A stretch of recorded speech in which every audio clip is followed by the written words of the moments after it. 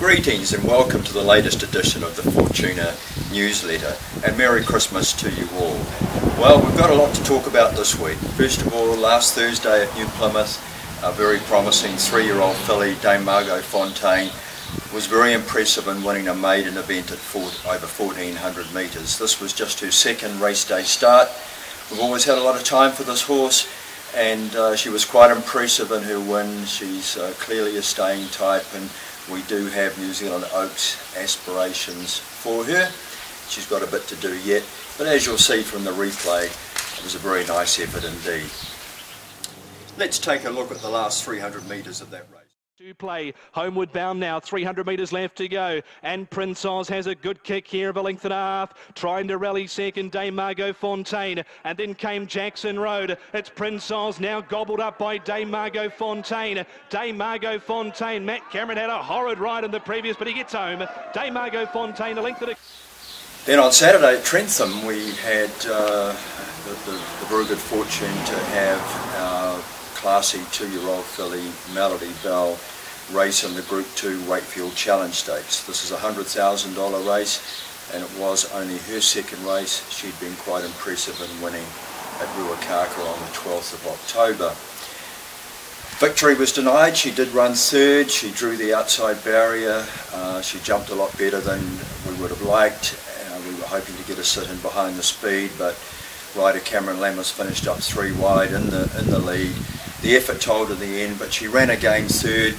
And there's lots of positives in that. Black type for the pedigree page, a great thrill for her owners, prize money of course, and she has qualified for the Karaka Million uh, almost certainly. Uh, that race has been run on Sunday the 29th of January. A lot of owners there, 16 members of the syndicate altogether. Everybody had a great time uh, and it was certainly a, a very uh, joyous occasion. Recently, um, I was at the Ready to Run sales, that was in mid-November, and we finished up buying a really lovely Singapore-bound gelding. Um, I was looking for a horse to go to Singapore that would be more of a sprinter miler type. Uh, we had had a look at this horse earlier in the day. I didn't think I'd get him for our budget, but sometimes you get lucky and we got him actually under our budget. This horse is by Helmet out of a Shamardal mare called Shamabel. Helmet, of course, was a very good Australian racehorse. He won four races as a two-year-old, including two Group Ones, and then trained on as a three-year-old to win the Caulfield Guineas at Caulfield in the spring, a race that generally is a good indicator of uh, a very, a very, very good horse. Uh, Shamabel herself was uh, a bit injury prone, uh, but had also had a very good race career. As you'll see from the photograph, this guy is uh, absolutely outstanding. We've nicknamed him Benji. He's an outstanding physical specimen. Shares are flying out the door very quickly. We've already 75% sold. 6,500 for a 5% share. That includes all the Singapore travel costs. Uh, 3,250 for a 2.5% share and just $1,300 for a 1% share if you'd like to get involved in a Singapore horse. As you know, we race in Singapore because the prize money is just excellent. Um, and we've got pretty high hopes for this guy. He's a genuine ready-to-run horse. Uh, he went to Te Akau stud for 10 days after the, after the sales. But last Monday he went back into work at Te Akau. Uh, we're anticipating him getting, getting him to a trial in February and all going well he should be on a plane to go to Singapore late March, early April 2017. Be quick, these shares won't last long.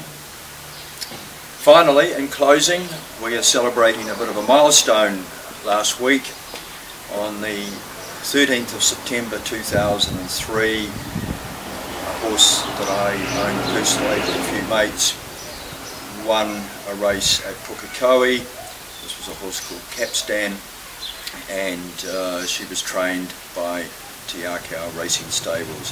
That was the first winner for John Galvin, trained by David Ellis and his team at Te Akau Racing Stables.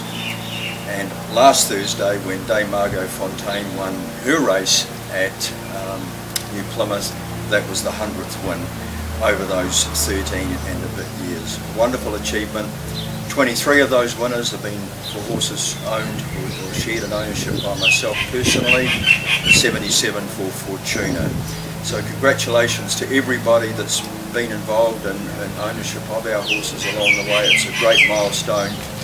Um, congratulations to the Te Akau team, David and Karen, uh, and all the administration staff at the office there, the trainers we've had over the years, which has been Mark Walker, both here in New Zealand and in Singapore, Jason Bridgman, of course, and the current Te Akau team of Jamie Richards and Stephen Autridge. Well done guys and we're looking forward to the next 100 winners.